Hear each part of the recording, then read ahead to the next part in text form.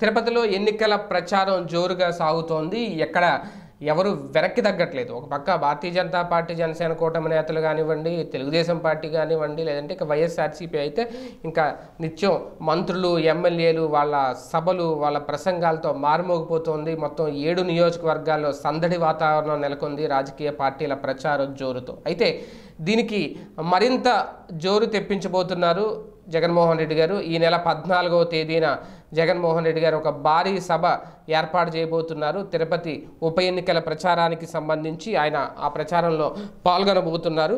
అంటే ఇక్కడ రేణుగుంట దగ్గరే యోగానంద ఇంజనీరింగ్ కళాశాల సమీపంలో ఒక గ్రౌండ్ని ఇప్పటికే పరిశీలించారంటే TTD TTD chairman YV Subbareddy గారు అలాగే పంచాయతీరాజ్ శాఖ మంత్రి వర్యులు పెద్దిరెడ్డి రామచంద్రారెడ్డి గారు ప్రభుత్వ చీఫ్ విప్ చెవిరెడ్డి భాస్కర్ రెడ్డి వీళ్ళందరూ కూడా అక్కడ ఆ ప్రాంగణాన్ని కూడా ఎంపిక చేశారు. అక్కడ భారీ బహిరంగ సభ ఏర్పాటు చేయబోతున్నారు ముఖ్యమంత్రి వైఎస్ జగన్మోహన్ రెడ్డి గారిది అనేది. అయితే ఈ దీనికి సంబంధించి ఇప్పటికే అధికారులు కూడా ఒక రూట్ మ్యాప్ కూడా రెడీ చేసుకున్నారు. ఎందుకంటే ఇంకెంతో సమయం లేదు.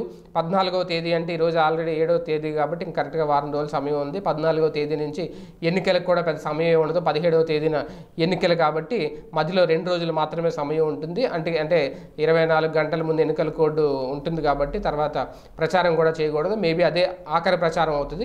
అందుకే భారీ బహిరంగ సభ పద్నాలుగో తేదీని ఏర్పాటు చేయాలి.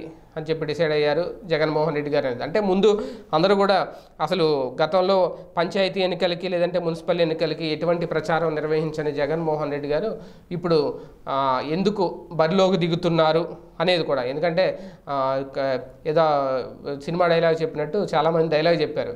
కంటెంట్ ఉన్నవాడికి కటౌట్ ఉంటే చాలు రావాల్సిన అవసరం లేదు మా జగన్మోహన్ రెడ్డి గారు. ఆయన చేసిన పథకాలు ఆయన అందించిన సంక్షేమాలు ఆయన గెలిపిస్తాయి అనేది. కానీ మరి తిరుపతి ఉప ఎన్నికల విషయంలో ఎందుకు ఆయన బరిలోకి దిగుతున్నట్టు ఎందుకు అక్కడికి వెళ్తున్నట్టు? ఒక టఫ్ పోటీని ఏమైనా చూడబోతున్నామా? లేదంటే అత్యధిక మెజారిటీయే లక్ష్యంగా జగన్మోహన్ రెడ్డి గారు కూడా బరిలోకి దిగుతున్నారా? ఏంటి? అంటే ప్రత్యర్థులకు ఒక రకంగా జగన్మోహన్ రెడ్డి గారు వస్తున్నారు అని తెలిస్తే మరింత దడ పుట్టించేలాగా ఆయన నిర్ణయం ఉందా?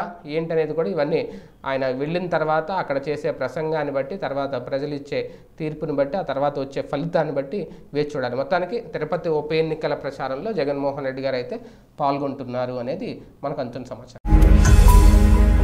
ఈ వీడియో గనుక మీకు నచ్చినట్లయితే లైక్ చేయండి షేర్ చేయండి. మరిన్ని వీడియోస్ కోసం మా ఛానల్ను సబ్స్క్రైబ్ చేయండి.